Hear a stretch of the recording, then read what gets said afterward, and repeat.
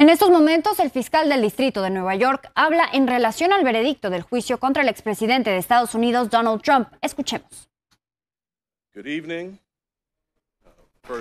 Buenas tardes. Primero que nada, quiero darle las gracias al jurado por su servicio. El jurado, todo jurado es, cumple con un deber cívico fundamental y su servicio es piedra angular de nuestro sistema judicial.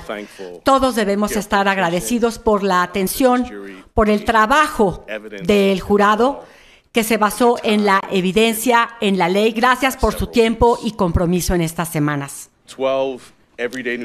12 neoyorquinos comunes y corrientes escucharon el testimonio de 22 testigos, incluyendo empleados y exempleados del acusado, a ejecutivos de los, de los medios, a editores, a guardias, a guardias de registros, revisaron mensajes de texto, correos electrónicos, escucharon grabaciones, vieron cheques, facturas, estados de cuenta.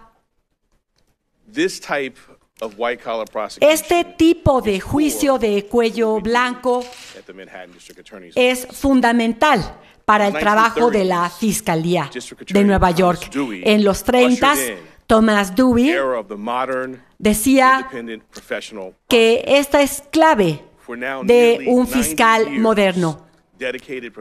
Llevamos ya 90 años especializando a fiscales para seguir esta fina tradición.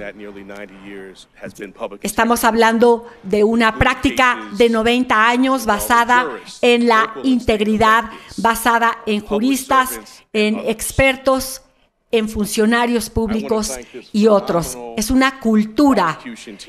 Le quiero dar las gracias a este fantástico equipo de fiscales que encarnan las tradiciones más altas de esta oficina. Por su, gracias por su dedicación, integridad, servicio. Son servidores públicos modelo. A mí me honra tenerlos como mis colegas.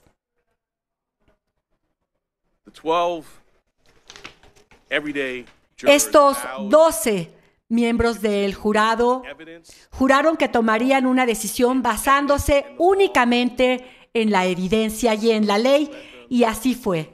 Y su deliberación los llevó a la conclusión unánime más allá de toda duda razonable de que el acusado Donald J. Trump es culpable de los 34 cargos que se le imputaron de falsificación de registros comerciales en primer grado para manipular la elección presidencial del año 2016. Este es un momento histórico y finalmente llegamos a este veredicto como todos los demás casos que se atienden en estos tribunales, siguiendo los hechos, la ley y haciéndolo sin temor ni mala fe.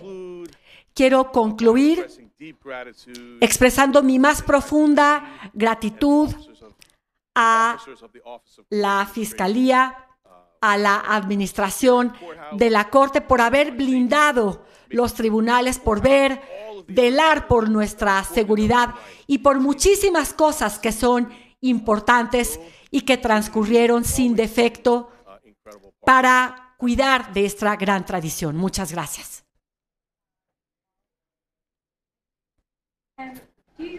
Ahí el mensaje. Ahí el mensaje de Alvin Bragg, fiscal del Distrito de Nueva York, en este histórico juicio contra el expresidente Donald Trump.